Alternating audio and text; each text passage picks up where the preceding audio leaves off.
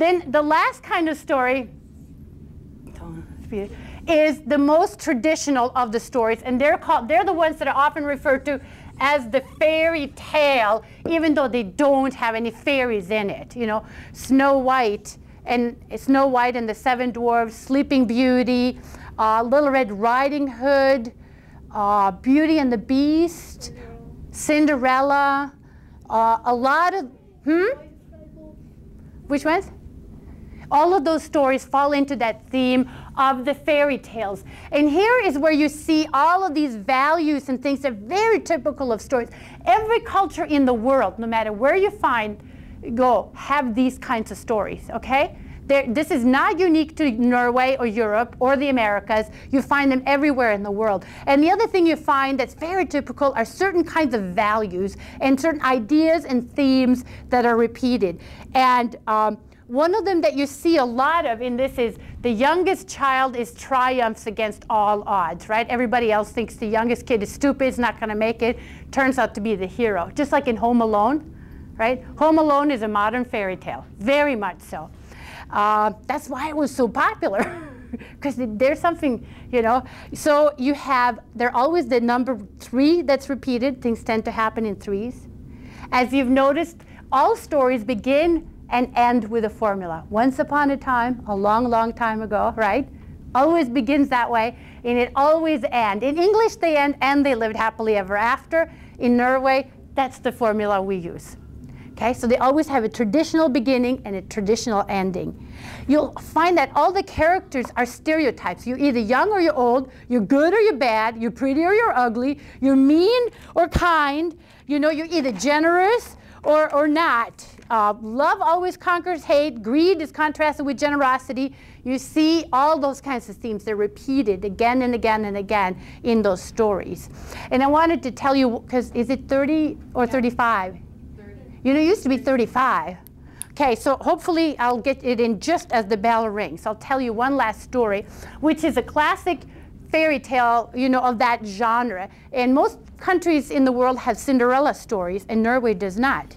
Norway has Cinder Lad or Ash Lad stories. Okay, so it's never a boy, a girl, it's a boy. And he doesn't have to battle an evil stepmother, he's got to battle trolls, because, you know, this is Norway.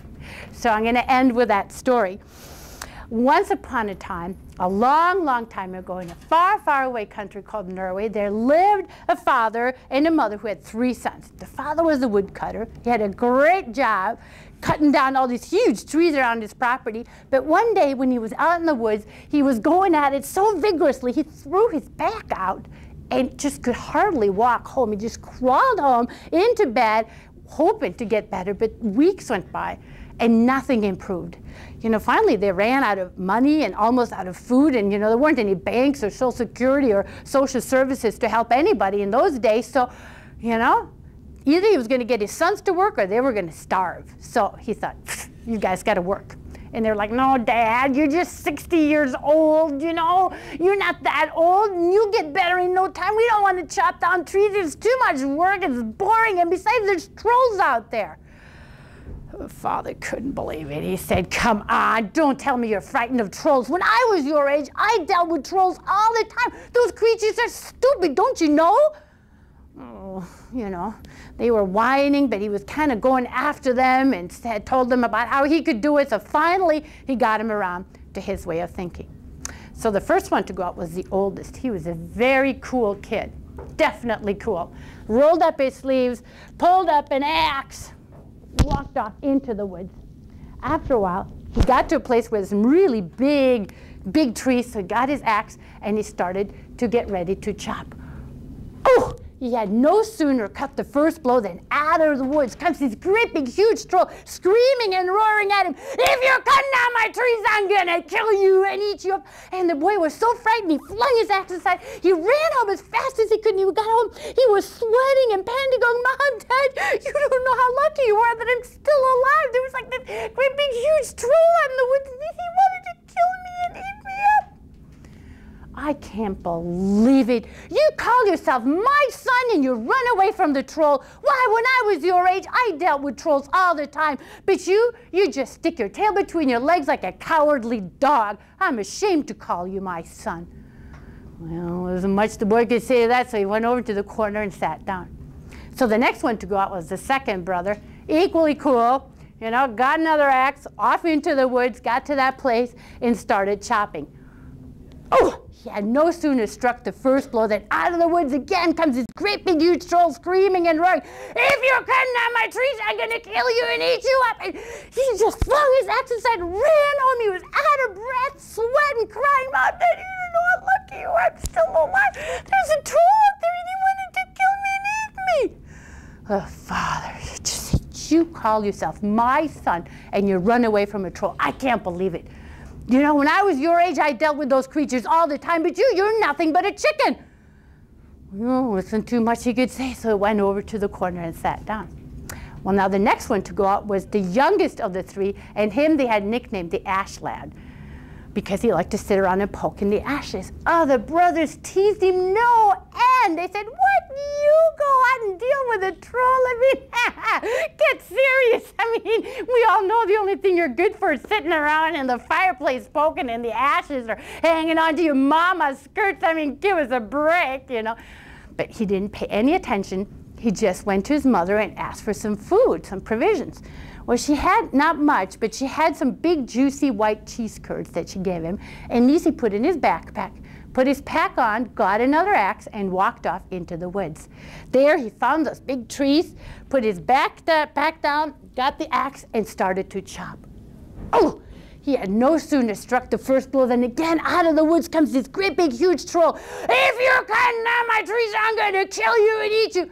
But this boy now, he wasn't as slow-witted as the others. He went over to his backpack, got out one of the cheese curds and held it up saying, if you don't watch it, I'm going to squeeze you the way I'm squeezing the water out of this white rock I have here.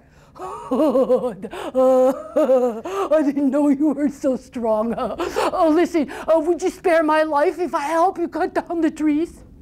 Yeah, yeah, sure. That's a good idea. Suit yourself said the boy. And so that's what they did. They cut down trees for the rest of that day. And when they were all done, the troll, very hungry by now, said, oh, about it. Why don't you come to my place and we'll have a bite to eat together?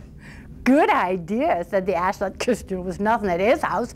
So off they went through the woods until they got to the mountain in the blue where the troll lived. And they went inside, and the troll said, Now I would like a nice pot of porridge. So um, why don't you go outside and get the, the bucket and get water from the well, and then I'll make up fire.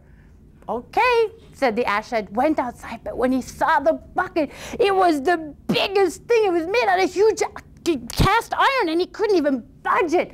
So he had to think really fast. After Biddy had an idea and he said, hey, you know, I don't think there's any point in going water for water in that little thimble of a bucket you have out there. I'm bringing in the whole well. Oh, no, no, no. I can't afford to lose my water. Listen, um, forget about it. Why don't you just make up the fire and I will go and get water in the bucket? Well, suit yourself, said the ash lad. And so that's what they did. The ash lad made up the fire, the troll got the big huge bucket, the, you know, filled it with water, and they filled that whole thing with porridge. And when they were ready to sit down, the troll said, Oh, this will be nice, I'm so hungry. And he grabbed that big pot and he carried it over. But before he sat down, the ash lad said, Hey, how about it? Why don't you and I have an eating competition? Oh, that's a great idea, thought the troll. Oh, I'm on. And he thought he was going to have a nice piece of ash lad for dessert. So he sat right down in front of that great big pot. But before the ash lad sat down, he snuck over and he got his backpack and he tied it around his stomach with a pack part in the front. And then he sat down to eat. And they ate and they ate and they ate. And after a little while, instead of the food going in his mouth, he opened the pack and he put the food in the pack. And when the pack was full, he got out his knife and he ripped a hole in it, and then he could continue filling it. Well, you know, the troll saw something was going on, but he was too stupid to figure out what it was. So he just kept on eating and eating and eating. And finally he said, I am sorry, I can't eat another bite. Come on, I'm not even half full yet, said the ash lad. I don't get it. How do you do it? You're just such a little fella. How could you eat so much? Well, it's easy. Here's what you do. You get out your knife, you put it to your stomach, and you rip a hole in your stomach. And that way you can eat as much as you want. Oh, won't that hurt? Big guy like you? I don't think so. Oh, said the troll, and of course he didn't want to be a lesser man, so he got out his knife, he put it to his stomach, and he ripped a hole in it. and with that, he fell over, dead as a doornail, crumbled up into thousands of pieces of rock, so it looked like gravel on the ground there, and the ash lad was safe.